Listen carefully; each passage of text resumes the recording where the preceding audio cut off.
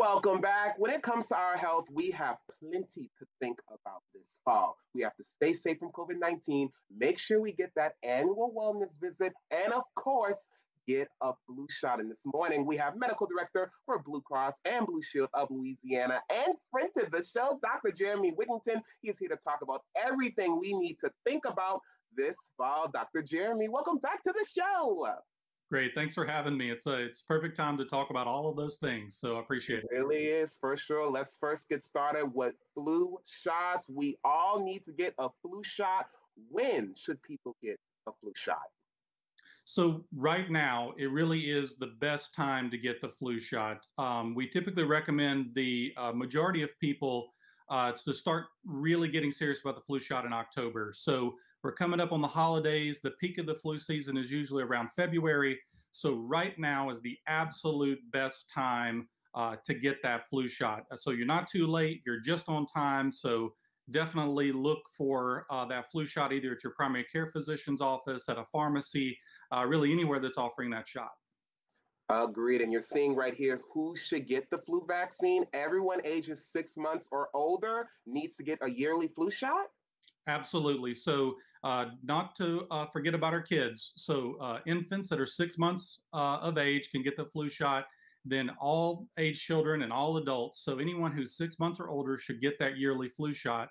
That's really important for pregnant women, especially those younger children uh, closer to six months and older adults, uh, 60 or older, and anybody with a long term health condition like diabetes, uh, heart conditions, really any of those things, really make sure that uh, you're thinking about that flu shot.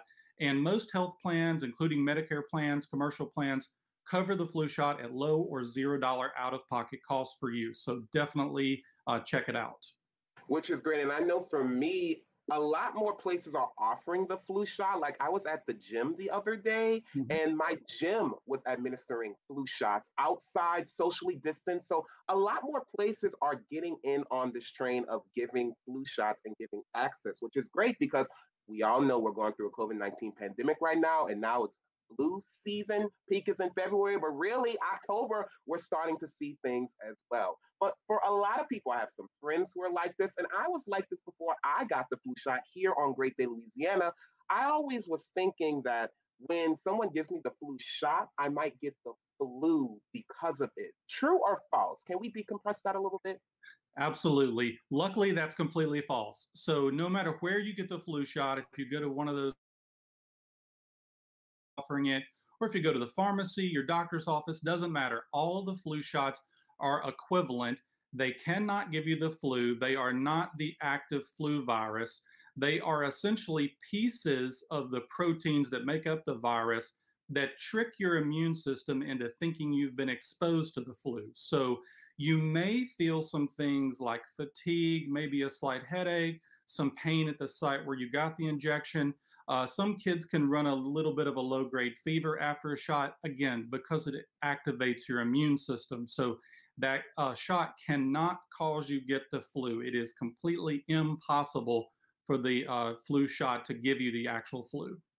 It's deactivated, which is really good. And I agree with a little bit of stiffness, a little bit of pain. I mm-hmm. got it again here on the show. And I did feel a little bit of stiffness in my arm, but it went away in about 24 hours, which is good because the flu shot, again, is still the most effective way of not getting the flu. Because, like I said earlier, we're in this COVID 19 pandemic. Let's go through some of those precautions again for people who have the flu shot. We still should be taking precautions when it comes to COVID 19, wearing your mask. And we have one tip here that we found really interesting avoid sneezing or coughing into bare hands or your face mask. Why should we do that? Because it's difficult, you know?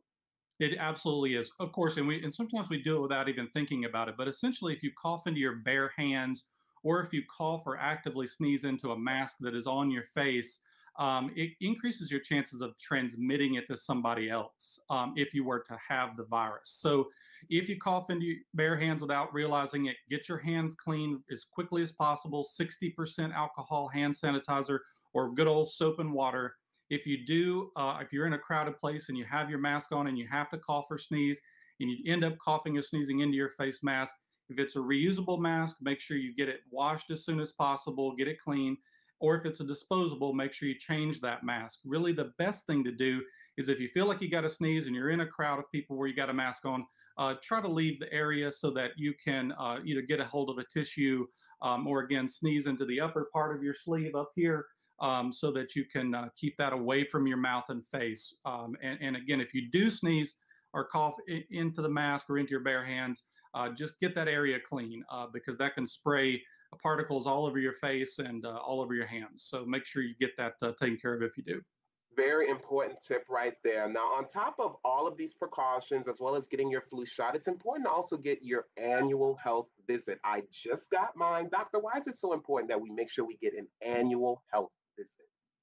Getting in that annual health visit is because we don't want anything else to be added to our plate. So making sure that all the rest of your health is in order, uh, getting that annual visit done, making sure that all your routine health is taken care of, especially if you have diabetes, again, heart disease, any of those chronic medical conditions, and you've had to defer care because of the pandemic, make sure that you get a checkup done so that you can get all your needs taken care of. Just because we have COVID and flu does not mean you can't get other health conditions uh, and can't have other problems. So we want to make sure we keep in mind that uh, everything is still going on. We will make sure we are uh, completely taken care of um, while we try to avoid the flu and COVID. Very important. I got my flu shot and I did my annual health visit. I got it. You need to get it as well. Doctor, thank you so much for joining us this morning. And hey, for more information about your health and how to take care of your health during this fall, you can log on to bcbsla.com slash keep up with care.